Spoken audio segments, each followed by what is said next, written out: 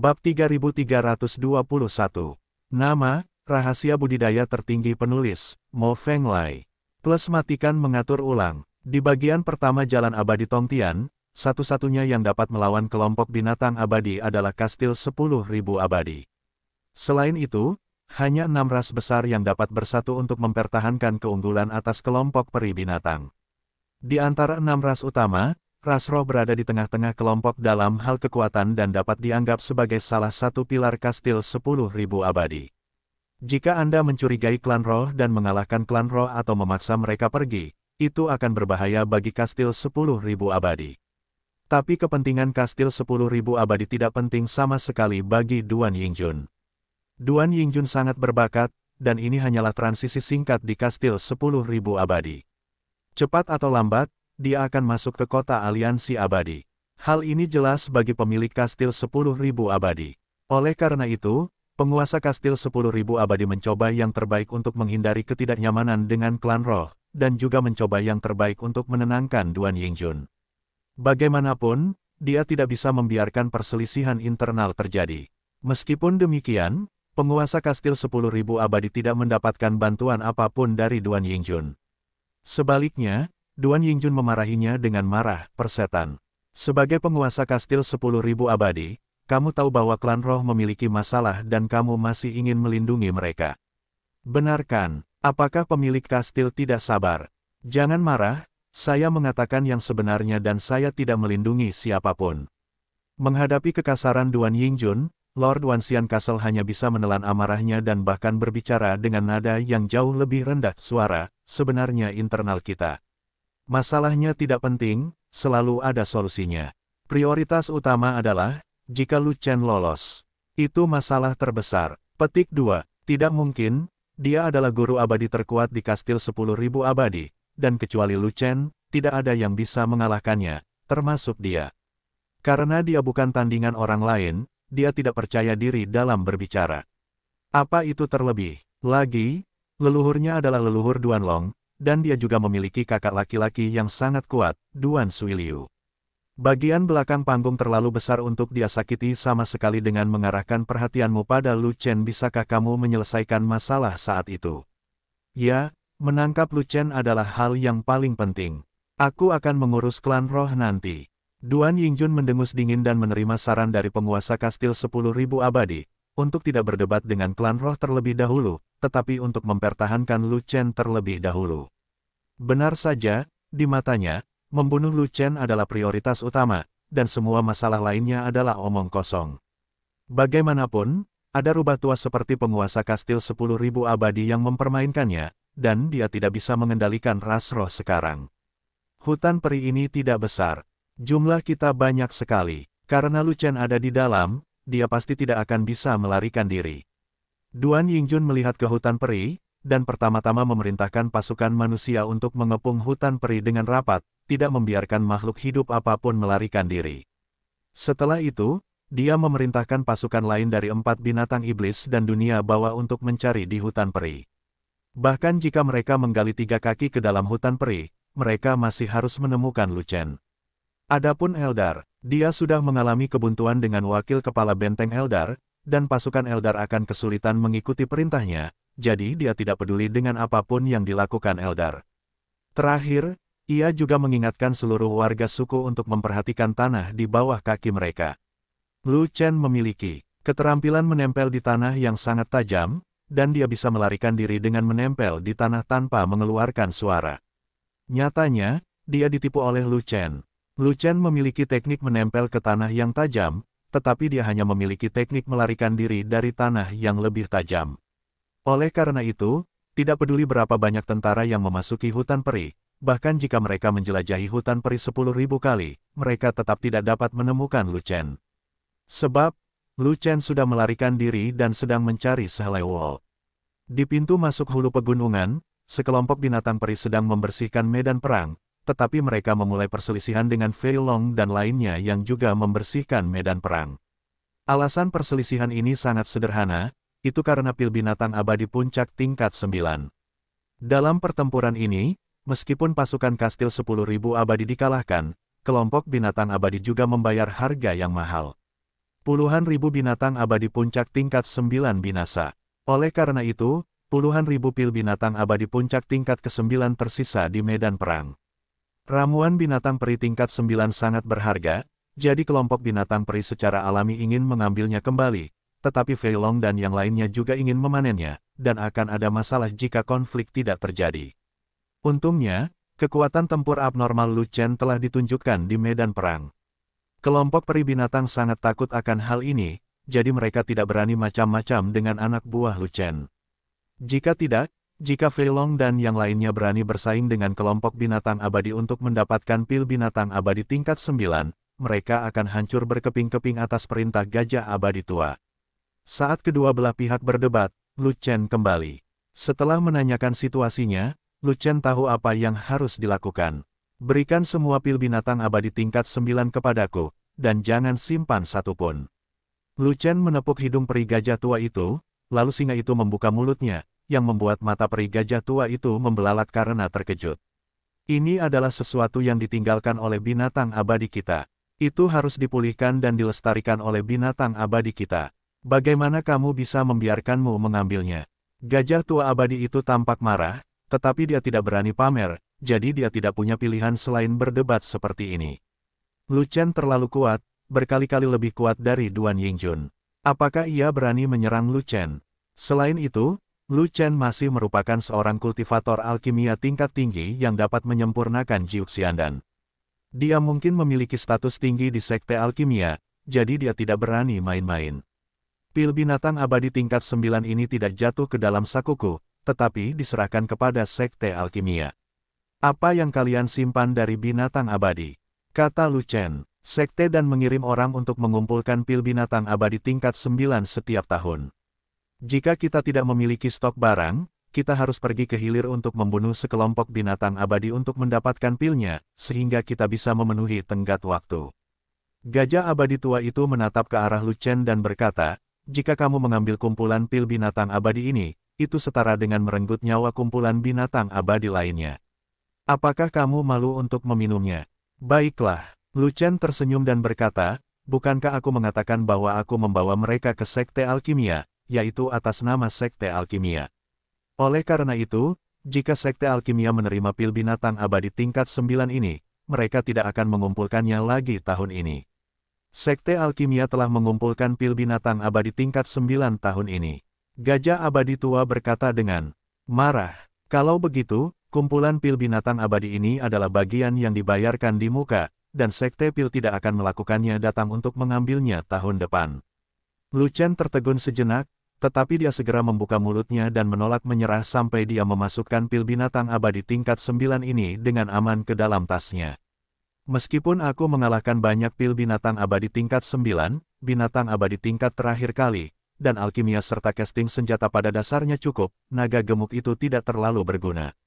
Karena Feilong perlu menggunakan lebih banyak perisai abadi kelas atas, dan semakin banyak pil binatang abadi tingkat 9, semakin baik ada terlalu banyak. Serahkan bagian tahun depan terlebih dahulu. Gajah abadi tua itu tertegun sejenak, dan kemudian bertanya, Sekte Alkimia tidak pernah mengumpulkan pil binatang sebelumnya. Apakah kita bisa melakukan hal ini? Tentu saja bisa. Ketika saya menyerahkannya, saya akan menjelaskan situasinya kepada Danzong. Chen mengangguk dan terus berbohong, selain itu, puluhan ribu pil binatang abadi tingkat sembilan bukanlah jumlah yang kecil. Bahkan jika saya tidak mengatakan apa-apa, sekte dan akan meninjaunya dengan ketat, jadi Anda tidak perlu khawatir. Ini, gajah abadi tua itu bingung, dan untuk sesaat, dia tidak tahu bagaimana membantahnya. Tidak ada keraguan bahwa Lu Chen berasal dari sekte dan, tetapi perkataan Lu Chen tidak dapat diandalkan, jadi tidak jelas. Dia tidak cukup bodoh untuk mempercayai segalanya. Jika Lu Chen menginginkan seribu pil binatang peri puncak urutan ke-9, akan mudah untuk mengatakan bahwa dia akan memberikannya begitu saja. Tapi itu puluhan ribu, tentu bukan jumlah yang sedikit. Ini adalah sisa dari kematian puluhan ribu binatang abadi puncak tingkat 9. Ia tidak ingin memberikan semuanya. Sian-siang tua mengetahuinya dengan baik dan memanfaatkan Lu Chen. Pertempuran ini terjadi demi Lu Chen, dan kekalahan tidak bisa dihindari. Tapi kelompok binatang peri telah membayar harga yang begitu mahal dan tidak bisa menyelamatkan semua pil binatang peri tingkat 9, jadi mereka tidak akan berhasil. Tapi pertanyaannya adalah, Lu Chen bertekad untuk menang, tidak bisakah dia memberikannya padanya? Berapa banyak orang yang tewas di kastil 10.000 abadi dalam pertempuran ini? Melihat peri tua itu ragu-ragu, Lu Chen mengubah topik untuk mengalihkan pemikiran peri tua itu. Sekitar 30.000. Kata peri gajah tua, berapa banyak cincin luar angkasa yang ditemukan? Lu Chen bertanya lagi, lebih dari seratus ribu keping. Gajah tua abadi berkata dengan jujur, meskipun 30 ribu orang tewas di kastil 10 ribu abadi, tidak setiap orang mati hanya memiliki satu cincin luar angkasa. Beberapa orang memiliki beberapa, atau bahkan lebih dari selusin. Cincin luar angkasa dapat dibuat oleh enam ras besar, dan tidak sulit untuk mendapatkannya. Tapi untuk binatang peri yang tidak bisa membuat cincin luar angkasa, persediaannya terbatas dan sulit didapat. Setiap kali alam rahasia Buddha merah dibuka, binatang peri mengalokasikan buah bayi merah ke enam ras utama, sehingga mereka dapat menukar sejumlah besar cincin luar angkasa dari kastil 10.000 abadi. Oleh karena itu, Lu Chen mengalihkan topik ke cincin luar angkasa, hanya untuk membuat keributan tentang cincin luar angkasa. Berikan semuanya padaku, Lu Chen membuka mulutnya dan datang lagi, mengambil seekor gajah tua abadi dan dua gajah besar. Kamu menginginkan segalanya, apalagi yang kita miliki sebagai makhluk abadi. Gajah peri tua itu sedikit kesal dan berkata, kami binatang peri telah menderita kerugian besar dalam pertempuran ini, dan ini bukan hanya untuk melindungimu. Tapi kamu telah mengambil semua piala. Apakah menurutmu binatang peri kami telah bekerja dengan sia-sia? Petik 2. Bagaimana kamu bisa bekerja tanpa bayaran? Lu Chen tersenyum dan berkata, jika kamu bekerja secara gratis, dengan IQ kamu, maukah kamu melakukannya? Yah, makhluk abadi tua itu tercekik dan tidak bisa berkata apa-apa, dan dia tidak berani mengatakan apa pun. Itu benar, jika Lu Chen tidak memberikan bantuan sebelumnya, dia pasti tidak akan melakukan pertempuran sengit dengan kastil 10.000 abadi. 30 ribu ramuan sembilan mus hitam cemerlang telah diambil secara pribadi, dan tidak mungkin mereka akan memuntahkannya. Ini adalah sumber daya besar yang digunakan untuk memperkuat kelompok peri gajah. Itu tidak akan didistribusikan ke kelompok lain. Tentu saja masalah ini harus dirahasiakan, jadi apa yang berani dikatakannya. Bahkan lebih takut lagi Lu Chen akan mengungkap masalah ini. Jika kelompok etnis lain mengetahuinya, bukankah mereka akan mampu meledakkan kamp? Ya, aku tidak akan mengambil semuanya, jangan sampai kamu bilang aku impersonal, aku akan memberimu pilihan. Lu Chen tersenyum lagi dan berkata, antara pil binatang abadi dan cincin luar angkasa, kamu dapat memilih salah satu. Apakah aku punya pilihan? Gajah peritua menjawab dengan marah, mengetahui bahwa apa yang diberikan Lu Chen kepadanya bukanlah sebuah pilihan, tetapi sebuah langkah mundur. Bagi Lu Chen, dia bisa mendapatkan cincin luar angkasa sebanyak yang dia inginkan, jadi itu sangat berharga. Apa yang sebenarnya diinginkan Lu Chen adalah ramuan binatang abadi tingkat 9, jadi dia secara khusus menggunakan cincin luar angkasa ini untuk membicarakannya. Itu seperti menggali lubang agar bisa dilihat. Jika ia tidak tahu apa yang harus dilakukan dan memilih pil binatang abadi, ia mungkin akan masuk ke dalam jebakan. Kekuatan tempur Lu Chen terlalu kuat, jika dia memiliki kekuatan tambahan dari Fei Long dan yang lainnya, dia akan merasakan hawa dingin di punggungnya hanya dengan memikirkannya. Mungkin tidak, Lu Chen melihat ekspresi malu Sian Siang tua dan berbicara terus terang. Kalau begitu aku hanya bisa meminta cincin luar angkasa. Gajah abadi tua tidak berdaya karena kekuatan bertarung Lu Chen, jadi dia harus menyerahkan semua pil binatang abadi tingkat 9. Jika tidak, jika Lu Chen berselisih dengannya, begitu dia mulai bertarung, Terserah dia apakah kelompok binatang peri akan melawannya atau tidak, tapi dia tetap akan mati. Ia sangat dekat dengan Lu Chen dan merupakan komandan kelompok binatang peri. Lu Chen harus membunuhnya terlebih dahulu. Lu Chen mendapatkan apa yang diinginkannya, dan senyumannya segera menjadi utuh. Dia tidak tinggal di pintu masuk lebih lama lagi, dan pergi bersama Fei Long dan yang lainnya. Setelah memasuki kedalaman pegunungan dan kembali ke puncak tempat legiun fanatik ditempatkan, Lu Chen secara resmi berlatih dalam pengasingan. Kastil 10.000 abadi menderita kekalahan seperti itu, dan vitalitasnya rusak parah. Ia tidak berani membuat masalah lagi. Bahkan jika itu mengundang orang suci abadi, itu tidak akan secepat itu. Namun, hari-hari ini relatif aman, dan Lu Chen secara alami tidak akan menyia-nyiakan waktu yang dapat dicurahkan untuk berkultivasi. Satu-satunya hal yang saya khawatirkan adalah, kapan Duan Yingjun akan masuk ke dalam jajaran orang suci abadi. Bakat Duan Yingjun sangat tinggi, dan dia berada di puncak Immortal Saint. Selama dia berkonsentrasi pada latihan, dia dapat menerobos ke Immortal Saint kapan saja. Setelah Duan Yingjun menjadi orang suci abadi, dia akan memenuhi syarat untuk pergi ke kota aliansi abadi, dan dia pasti akan mengundang orang suci abadi untuk datang dan membalas dendam.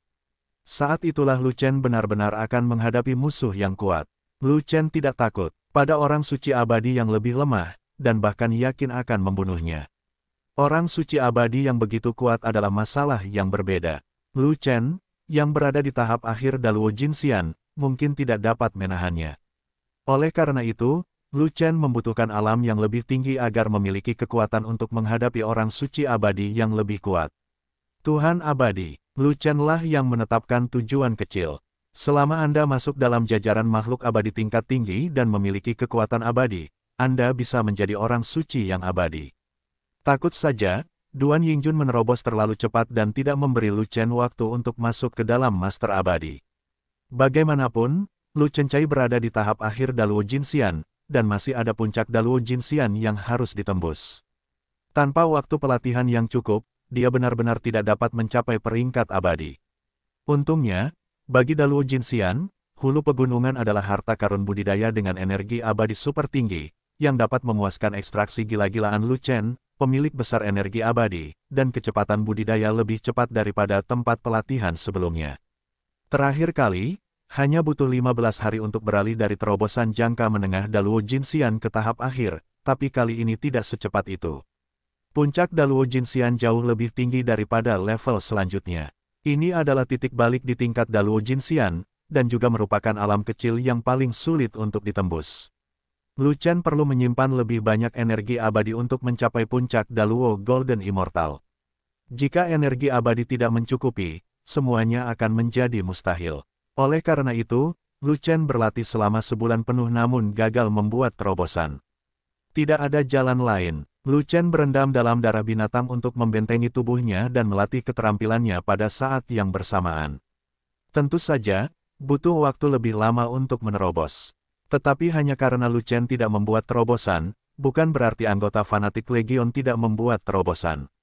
Dalam lingkungan dengan energi abadi yang sangat tinggi ini, tidak hanya kultivasi Lu Chen yang cepat, tetapi kecepatan kultivasi Daluo Jinxian mana pun juga sangat cepat.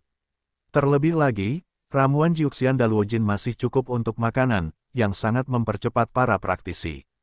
Dalam sebulan, Ming Yue dan Sangguan Jin memasuki jajaran dewa lebih awal, dan kemudian anggota inti lainnya berturut-turut menerobos, dan bahkan 5.000 anggota legiun pun menerobos.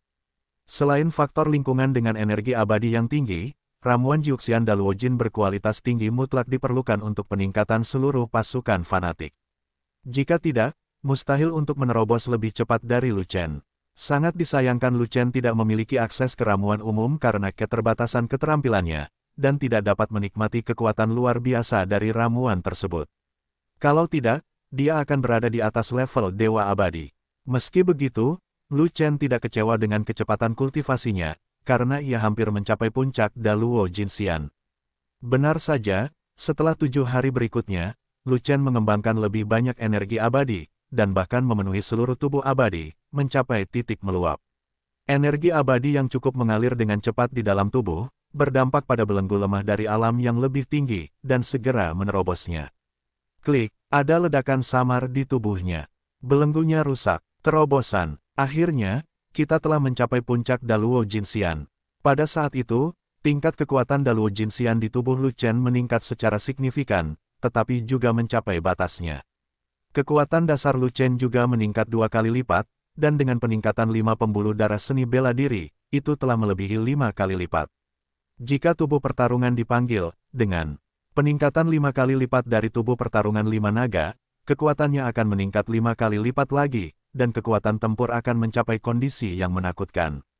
Kekuatannya meningkat pesat, kekuatan keterampilan tempur pembunuh abadi juga meningkat, dan gaya pedang yang lebih tinggi juga terbuka.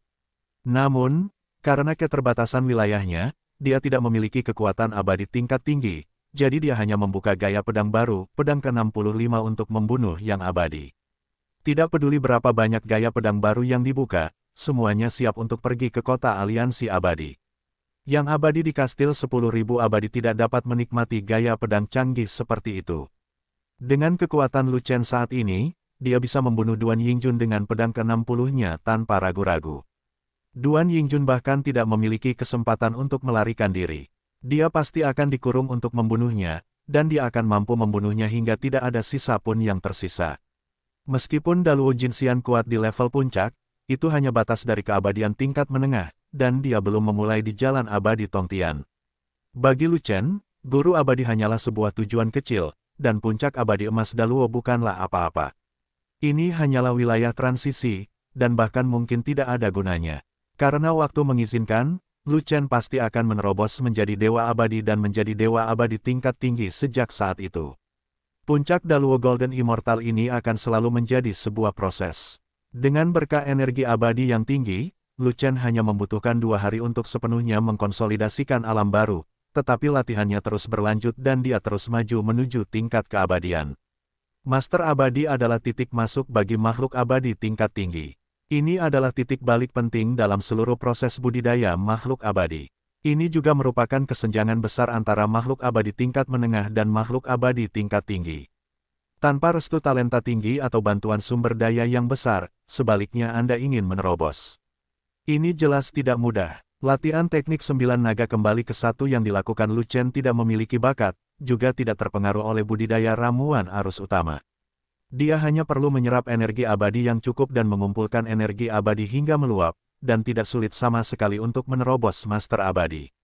Jika ada kesulitan, kelima urat naga itu tidak menyerap energi abadi dengan cukup cepat, juga tidak mengubah energi abadi dengan cukup cepat. Dibutuhkan banyak latihan untuk mencapai terobosan. Setelah berlatih selama sebulan lagi, Lu Chen telah mencapai kondisi yang baik, dengan energi abadi yang melimpah di tubuhnya dan auranya menjadi semakin tebal. Selama dia terus berlatih, diperkirakan dalam satu bulan lagi, kemungkinan besar dia akan mengucapkan selamat tinggal pada puncak Daluo Jinxian dan masuk ke jajaran abadi. Tapi waktu tidak berpihak pada Lu Chen. Tiba-tiba datangnya transmisi suara ilahi secara tiba-tiba mengganggu latihan cepat Lu Chen. Itu adalah kesadaran spiritual dari wakil penguasa benteng klan roh. Faktanya, Lu Chen telah menyadarinya bahkan sebelum ia terbang mendekat, dan dia terbangun dari latihannya. Segera setelah kesadaran spiritual dari wakil penguasa klan roh tiba, Lu Chen menyadari bahwa pelatihannya telah selesai dan tujuan kecil yang telah dia tetapkan sebelumnya tidak dapat tercapai. Jika tidak ada yang salah, Lu Chen harus menyeret tubuh abadi puncak Daluo Jinxian keluar dari gunung. Keadaan yang semula bersifat transisi ini tidak dapat ditransisikan, dan harus benar-benar ditingkatkan. Duan Yingjun membuat terobosan. Lu Chen sedang duduk di peti mati batu, berlumuran darah binatang abadi tingkat sembilan, menunggu kesadaran spiritual dari wakil penguasa. Benteng suku roh terbang mendekat, dan dialah yang pertama bertanya. Ya, Duan Yingjun menerobos ke Immortal Saint satu jam yang lalu dan sekarang sedang mengkonsolidasikan wilayahnya. Kesadaran spiritual dari wakil penguasa benteng klan roh datang. Keadaan perubahan Duan Yingjun adalah apa yang Lu Chen anggap sebagai hal yang paling penting, dan Lu Chen juga menginginkan bantuannya. Begitu dia mengetahui bahwa Duan Yingjun telah meningkatkan levelnya, dia secara alami segera melepaskan kesadaran spiritualnya untuk menemukan Lu Chen dan membawa pesan untuk berkomunikasi dengan Lu Chen. Hari itu di hutan peri, Lu Chen melarikan diri secara diam-diam tanpa diketahui siapa pun, bahkan dia. Duan Yingjun memimpin kerumunan untuk mencari di hutan peri sepanjang hari dan malam, dan akhirnya menghancurkan dan melibas seluruh hutan peri. Tidak ada jejak Lu Chen. Duan Yingjun sangat marah hingga dia hampir memuntahkan tiga liter darah. Karena penguasa kastil 10.000 abadi tidak ingin terjadi perselisihan internal, dia setidaknya mencegah Duan Yingjun berbalik melawan klan roh. Meskipun berbagai suku masih curiga terhadap klan roh, pada akhirnya suku roh tidak dikecualikan dan masih sulit mendapatkan pijakan di kastil 10.000 abadi. Hal ini memungkinkan The Eldar memilikinya, mendapat kesempatan untuk memata-matai Juan Yingjun. Satu-satunya pikiran Duan Yingjun adalah membunuh Lu Chen, dan dia mengancam akan mengasingkan diri dan berlatih keras untuk memenuhi kualifikasi untuk pergi ke kota aliansi abadi sesegera mungkin, dan kemudian mengundang orang suci abadi untuk datang dan membalaskan dendamnya. Setelah kembali ke kastil 10.000 abadi, Duan Yingjun pindah langsung ke gedung pusat kastil, dan juga menempati lantai mantan wakil kepala benteng klan iblis. Sejak saat itu, dia tetap berada di balik pintu tertutup dan berlatih keras. Lantai tempat Duan Yingjun berada sangat dekat dengan lantai wakil kepala benteng klan roh, sehingga dia bisa diawasi oleh wakil kepala benteng klan roh. Selama ada perubahan pada aura Duan Yingjun, wakil penguasa klan roh dapat merasakannya. Hal besar seperti terobosan Duan Yingjun menjadi orang suci abadi, tentu saja tidak dapat disembunyikan dari wakil penguasa benteng klan roh. Bakat Duan Yingjun sangat tinggi sehingga tidak butuh waktu lama untuk menstabilkan negara barunya. Dalam 10 atau 8 hari, pada dasarnya negara itu terkonsolidasi. Lu Chen berpikir sejenak dan kemudian berkata, jika Duan Yingjun tidak sibuk mencariku, tetapi langsung pergi ke kota Xianmeng, dia tidak perlu sepenuhnya mengkonsolidasikan ranah baru. Selama ranah baru sedikit stabil, dia bisa pergi. Memang, kesadaran spiritual dari wakil penguasa klan roh mengangguk, dan pesan lain datang, sebelum saya melepaskan kesadaran spiritual saya dan datang, saya bisa merasakan napas Duan Yingjun menjadi semakin cepat, bukannya stabil dan stabil, jelas dia tidak melakukannya, tidak mau teliti. Untuk mengkonsolidasikan dunia, saya hanya ingin segera menstabilkannya. Pergi ke dunia baru sehingga Anda bisa berhenti dan pergi. Petik 2. Itu dia. Jika dia ingin membalas dendam kepadaku secara pribadi, dia harus sepenuhnya mengkonsolidasikan wilayah barunya dan datang kepadaku untuk memiliki peluang menang yang lebih besar. Hanya untuk meninggalkan kastil 10.000 abadi sesegera mungkin, maka kamu tidak akan datang kepadaku, tetapi pergilah ke kota aliansi abadi untuk mencari seseorang. Lu Chen melihat kesadaran wakil kepala benteng klan roh, dan berkata, kalau begitu, aku akan mencegat Hu di jalan dan tangkap Duan Yingjun. Anda ingin memasuki wilayah kota Xianmeng. Wakil kepala benteng klan roh terkejut. Tentu saja, jika Anda tidak masuk, bagaimana Anda bisa menghentikan Duan Yingjun? Lu, Chen tersenyum pahit dan berkata, Duan Yingjun bersembunyi di kastil 10.000 abadi. Aku mungkin tidak bisa melakukan apa pun padanya, tapi selama dia berani keluar, dia akan ditakdirkan untuk akhir. Faktanya, dia masih berada di tahap akhir Daluo Jinxian sebelumnya dan tidak bisa mengalahkan pasukan puncak Dewa Abadi di Kastil 10.000 Abadi, jadi tentu saja dia tidak punya pilihan selain mengalahkan Yingjun.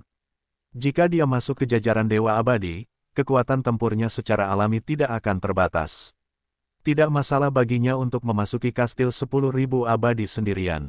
Bahkan jika ada Dewa Abadi yang lebih kuat dari berbagai klan, dia tidak akan bisa menjaga ketampanannya. Namun saat ini, Hal tersebut cukup memalukan. Dia telah membuat terobosan, tapi dia bukan seorang abadi. Dia hanya berada di puncak Daluo Jinxian. Keadaan tidak naik atau turun ini agak tragis baginya, baik dia kuat atau tidak, dan lemah atau tidak. Menilai dari kekuatannya saat ini, tidak akan menjadi masalah untuk bertarung melawan seratus atau lusinan master abadi puncak. Masalahnya adalah kastil 10.000 abadi tidak hanya memiliki selusin puncak abadi, tetapi seluruh pasukan puncak abadi kastil 10.000 dewa baru saja dikalahkan. Meski kerugiannya besar dan vitalitasnya rusak parah, namun tidak rusak sampai ke intinya. Masih banyak pasukan puncak dewa abadi dari semua klan.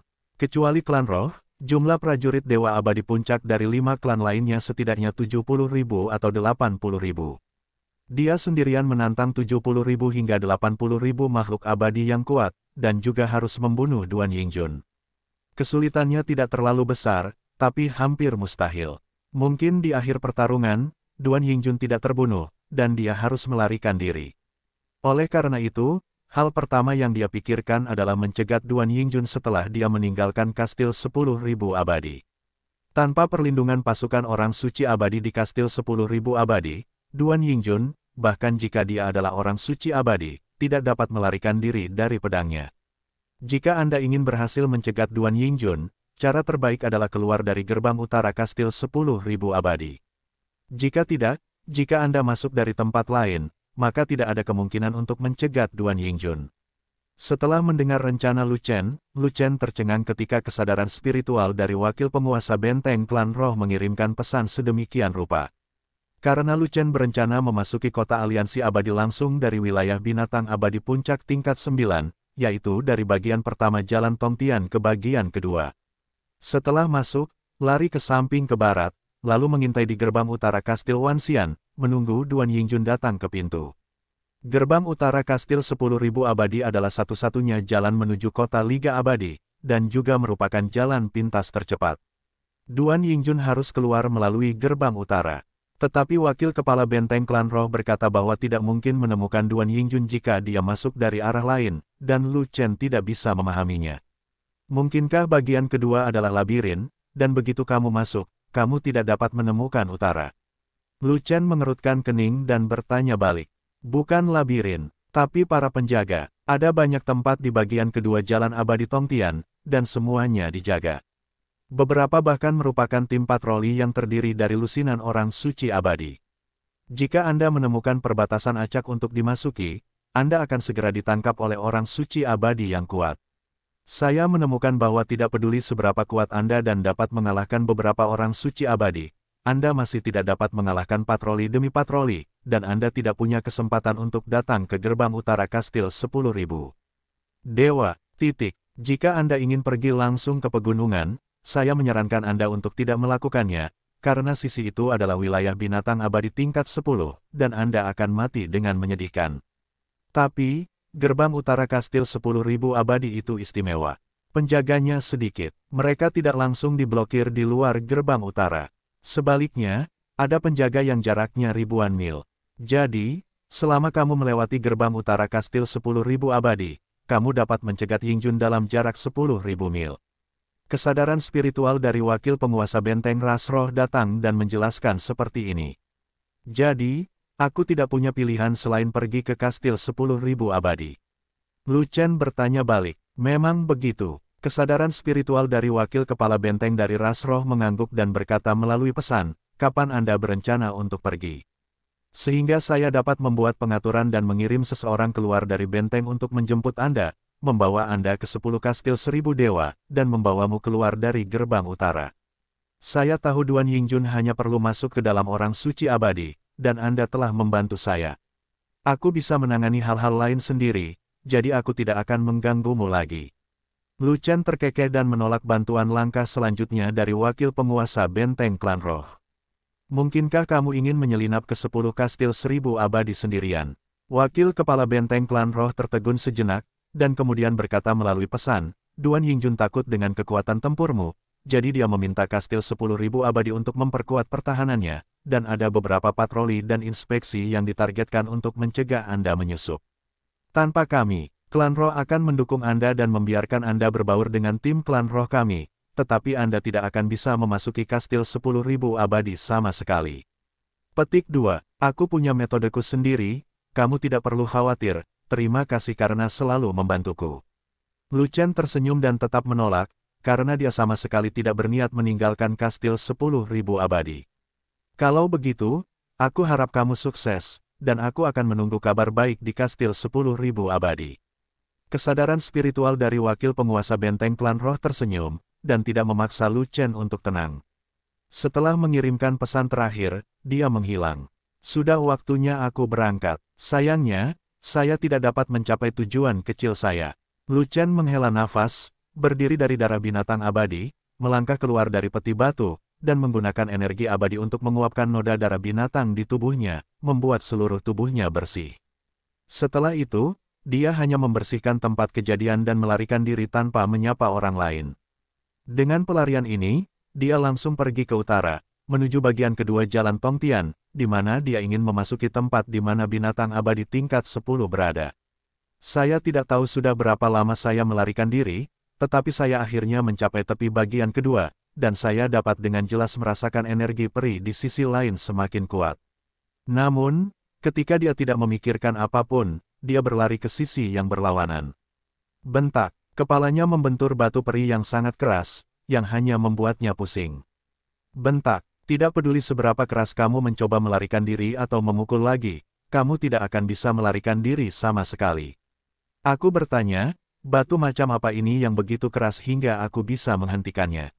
Lu Chen sangat tertekan. Dia menyentuh batu besar abadi di depannya dan tidak merasakan keberadaan batu terlarang abadi, tapi dia tidak bisa melarikan diri jika dia tidak bisa melarikan diri. Dia memiliki nafas bumi ilahi, yang dapat menembus bumi abadi yang keras.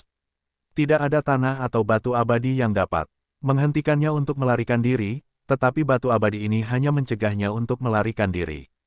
Ini terlalu kuat. Tentu saja, dia tidak membuang waktu di sini. Karena batu abadi ini dapat menghalanginya, dia dapat mengubah arah. Segera, dia melarikan diri ke kanan sejauh puluhan mil, mungkin jauh dari batu peri yang tidak normal, dan kemudian dia melarikan diri ke depan dengan ganas. Bentak, kali ini, dia memukul batu peri yang keras itu lagi, kepalanya hampir patah dan berdarah. Aku sudah berlari sejauh ini, dan masih ada batu peri. Pernahkah kamu melihat hantu? Lu Chen mengusap kepalanya yang sakit dan tidak membuang waktu di sini. Dia terus melarikan diri ke kanan sejauh ratusan mil, lalu ke depan. Kali ini dia belajar dengan baik. Kali ini dia tidak melarikan diri dengan cepat, tetapi meraba-raba untuk menghindari rasa malu karena menabrak batu peri itu lagi. Benar saja, dia benar untuk melarikan diri secara perlahan. Masih ada batu peri di depannya, menghalangi dia untuk melarikan diri. Aku tidak percaya, di bawah tanah di bagian kedua, ada semua jenis batu peri. Pasti ada akhirnya, Lu Chen mengerutkan kening dan tidak lagi lari dari batu abadi. Sebaliknya, dia terus melarikan diri ke kanan sambil menyentuh batu abadi. Setelah melarikan diri sejauh puluhan ribu mil, tangannya masih menyentuh batu peri di tepi jalan bagian kedua, seolah batu peri itu tidak ada habisnya dan tidak akan pernah berakhir. Tidak ada ujung ke kanan, dan tidak ada ujung ke kiri, kan? Lu Chen menjadi marah dan segera berlari kembali, yaitu ke kiri. Dia terus melarikan diri tanpa henti, dan setelah satu jam penuh melarikan diri, dia tidak tahu berapa juta mil dia telah melarikan diri, dan kemudian dia merasa sedikit frustrasi. Sebab, dia tetap lolos dengan menyentuh batu peri. Tidak peduli seberapa jauh dia melarikan diri, batu peri itu tetap ada tanpa ada celah. Semuanya tertutup batu peri. Mungkin itu lapisan batu peri, tapi selalu ada ujung di bawah lapisan batu peri, kan? Lu Chen sangat marah sehingga dia tidak mempedulikannya lagi dan melarikan diri ke dasar batu peri, langsung ke tanah. Lu Chen tidak tahu berapa ribu mil dia pergi jauh ke dalam tanah, sampai dia tidak bisa melarikan diri lagi. Tampaknya dia telah mencapai ujung tanah, tetapi masih ada lapisan tebal batu abadi. Alih-alih melarikan diri dari kota terlarang abadi, saya menemukan formasi batuan abadi yang sangat keras yang menutupi garis tepi ini. Benar-benar sebuah kejutan. Dalam keputusasaan, saya tidak punya pilihan selain tidak percaya pada kejahatan. Tidakkah Anda percaya bahwa tidak ada celah pada formasi batuan peri di sisi pegunungan ini?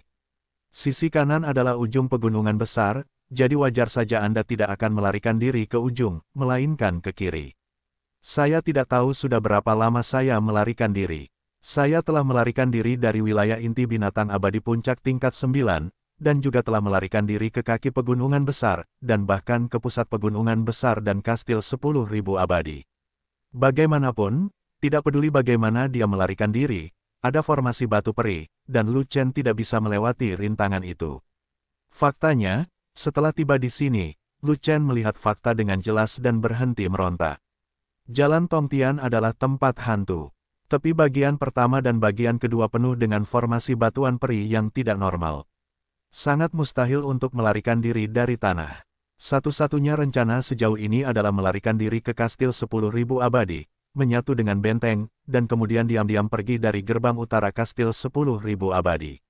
Tapi dia tidak pernah menyangka bahwa ketika Lu Chen melarikan diri ke kastil 10.000 abadi, dia juga tidak akan bisa melarikan diri. Tidak ada formasi batuan, abadi di kastil 10.000 abadi, tapi ada penghalang abadi yang kuat yang masuk jauh ke dalam bumi, mencegah makhluk apa pun melarikan diri ke dalam tanah. N. Ini, sungguh kacau. Tidak ada harapan untuk terbang ke angkasa, dan tidak ada cara untuk memasuki bumi. Saya hanya bisa menerobosnya dari tanah. Ada penjaga tingkat Sein abadi di bagian kedua, tapi saya bertanya-tanya seberapa kuat penjaga Sein abadi itu. Kekuatan tempur Lu Chen melebihi jangkauan Dewa Abadi, dan bahkan berkali-kali lebih kuat dari puncak Dewa Abadi. Secara teori, dia memiliki kekuatan untuk membunuh orang suci abadi, tetapi dia tidak tahu tingkat orang suci abadi apa yang bisa dia kalahkan. Lu Chen menjauh dari kastil 10.000 abadi, dan kemudian dia muncul dari tanah, melangkah melewati tepi bagian kedua, dan kemudian masuk lebih dalam. Namun, sebelum dia berjalan 10 mil, dia ditemukan oleh seorang patroli. Ada lusinan orang suci abadi dalam patroli itu, semuanya dengan aura yang kuat. Lima atau enam di antaranya relatif kuat, dan mereka sebenarnya berada di tahap tengah orang suci abadi. Dengan satu musuh melawan lusinan orang, semuanya adalah orang suci yang abadi dan kuat, mustahil untuk dilawan. Lu Chen tidak mau mengambil risiko ini. Tidak akan ada manfaatnya dalam pertempuran, dan itu akan membuat kastil 10.000 abadi khawatir dan hanya membuat Duan Yingjun waspada. Oleh karena itu, Lu Chen tidak punya pilihan selain mengusir dirinya sendiri sebelum patroli orang suci abadi datang untuk mengusir mereka, dan dengan cepat mundur. Sekarang dia berada dalam kesulitan ini, Lu Chen merasa sedikit menyesal. Dia awalnya mengandalkan kemampuan untuk melarikan diri, tetapi ketika dia memasuki bagian kedua, dia bisa merasa seperti berada di tanah yang tidak berpenghuni.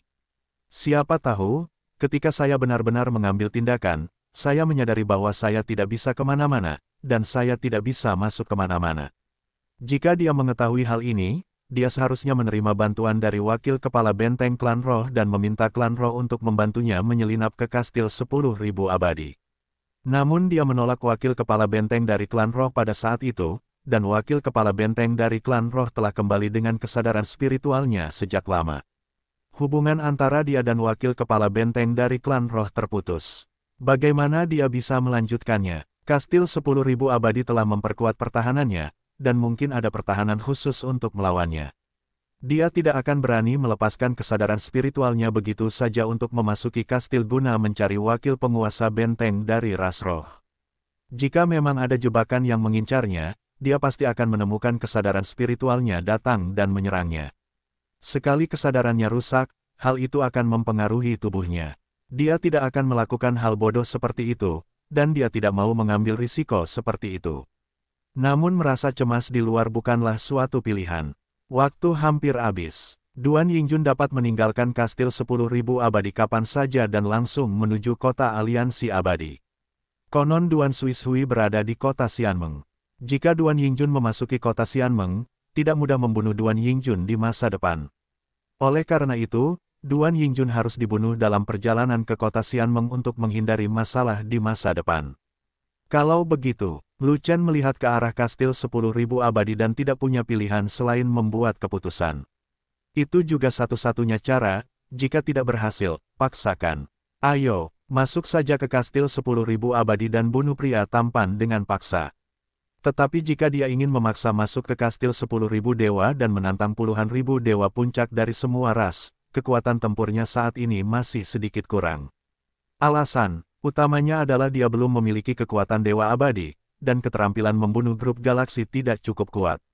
Belum lagi ia tidak memiliki sifat mematikan terhadap dewa abadi pada puncaknya, dan bahkan terhadap dewa abadi di tahap selanjutnya, ia tidak menimbulkan banyak ancaman. Di sisi lain, meskipun tubuh fisiknya kuat, ia tidak memiliki tingkat tubuh abadi, dan tidak dapat menahan pukulan ribuan makhluk abadi puncak. Dia harus memiliki pasukan tambahan yang kuat, lebih disukai beberapa pembantu yang kuat, untuk memastikan memasuki kastil 10.000 abadi. Oleh karena itu, dia menemukan tempat persembunyian, melepaskan kesadaran spiritualnya dan pergi ke pegunungan untuk menemukan naga gemuk itu. Beberapa jam kemudian, Fei Long datang dengan tergesa-gesa, bersama dengan Waner, Ming Yue dan Sangguan Jin. Setelah Lu Chen bertemu mereka, dia menyamar dengan mereka dan berlari ke kastil 10.000 abadi. Lu Chen ingin mencoba menyelinap masuk sebelum menyerang dengan paksa. Jika berhasil, tidak apa-apa, jika tidak maka akan menjadi pertarungan yang sulit. Kastil 10.000 abadi sudah dijaga ketat, dan orang yang masuk dan keluar harus menjalani interogasi yang ketat. Lu Chen melihat ke gerbang kastil 10.000 abadi dari jauh, melihat ribuan penjaga sibuk, dan melihat makhluk abadi yang tak terhitung jumlahnya menunggu dalam formasi di benteng, dan dia tiba-tiba merasa sedikit putus asa. Bagaimana Anda bisa lolos dari hal ini? Kita harus mulai bertarung. Setelah pertempuran dimulai, mereka akan menutup gerbang benteng dan membuka larangan abadi pelindung benteng. Bahkan jika Anda memiliki kemampuan untuk mencapai langit, Anda tidak akan bisa melewatinya. Fei Long tahu apa yang dipikirkan Lu Chen, jadi dia mengingatkannya seperti ini. Juga, tembok benteng terlalu tinggi. Mereka yang tidak bisa melompat harus memanjat. Sangguan Jin menatap ke arah benteng, mengerutkan kening dan berkata, tetapi ada makhluk abadi di mana-mana di atas sana, dan bahkan ada makhluk abadi puncak yang duduk di sana. Mungkin Anda bisa melawannya, tapi kami mungkin tidak bisa sampai di sana. Kalian tidak bisa naik, apa gunanya aku naik sendirian? Lu Chenwei berkata dengan marah. Dia membutuhkan perisai Fei Long, keterampilan medis Waner, dan bahkan bantuan Ming Yue dan sangguan Jin dalam pertempuran. Jika dia satu-satunya yang memasuki benteng dan kehilangan semua kekuatan tambahan, itu tidak ada artinya. Dia pasti tidak akan bisa membunuh Duan Yingjun, dan dia bahkan mungkin tidak bisa melarikan diri tanpa cedera. Tidak ada cara untuk memasuki tembok kota, jadi kita hanya bisa masuk melalui gerbang benteng. Ming Yue melihat ke gerbang benteng, menatap ribuan penjaga, dan berkata dengan cemas, masalahnya adalah, Sangguan Jin dan aku bisa menyelinap masuk, tapi kalian bertiga tidak bisa. Dia dan Sangguan Jin sudah memasuki alam abadi, dan mereka telah menyamar agar tidak mudah dikenali, jadi memang mudah untuk lolos begitu saja. Yang paling penting adalah para penjaga itu berada di tahap tengah atau akhir dari Dewa Abadi. Mereka tidak ikut serta dalam penyerangan di pegunungan dan tidak pernah melihatnya sama sekali. Mereka pasti akan memperlakukan dia dan Sangguan Jin sebagai dewa abadi biasa dan membiarkan mereka pergi. Tapi Lu Chen, Fei Long dan Waner berbeda. Ketiganya bukanlah makhluk abadi, dan mereka akan ditemukan oleh penjaga dalam sekejap, dan mereka bahkan tidak akan pernah berpikir untuk masuk melalui gerbang. Selama kalian berdua bisa masuk, ada sebuah menara di tengah kastil 10.000 abadi. Kalian berdua pergi ke sana, kata Lu Chen, tetapi tidak dapat melanjutkan karena dia merasa itu tidak layak.